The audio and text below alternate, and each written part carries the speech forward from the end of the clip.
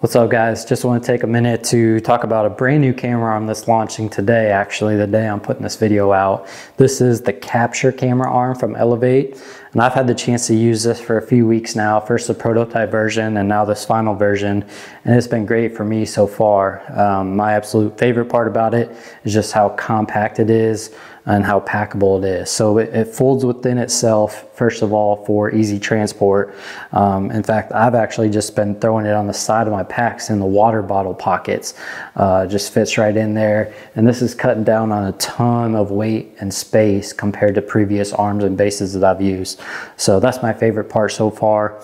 Uh, this arm is really designed for those guys that are using small to midweight camera setups, um, not necessarily the heavier setups. Uh, the, the weight capacity on this arm is about six pounds. So if you take your fluid head, your camera, and any accessories, whether that be the lens or mics, um, that total should be about six pounds or less. Mine is right at six pounds.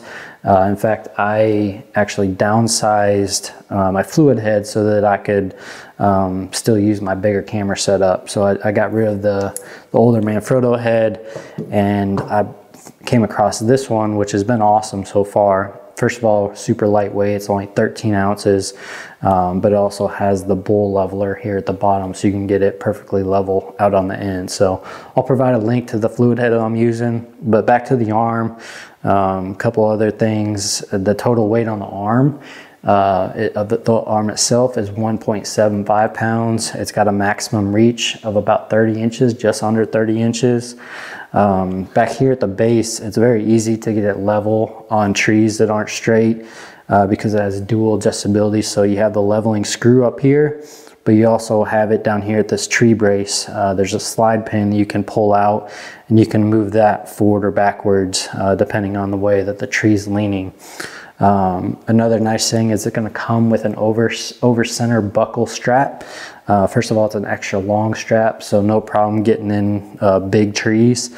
Um, but the over center buckle is really nice for a couple of reasons. One, it gets super tight without having to uh, ratchet anything. So you're not uh, making all that noise that sometimes gets annoying with the ratchet straps.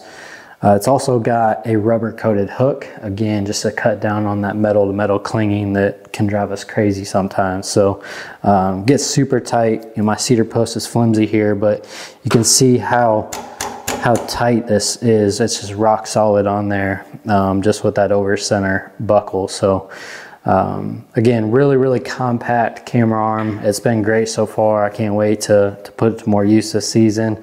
If you're in the market, definitely check it out. I'll provide a link to the camera arm uh, as well as a code to, to help you save a few bucks. So uh, best of luck out there and thanks for watching.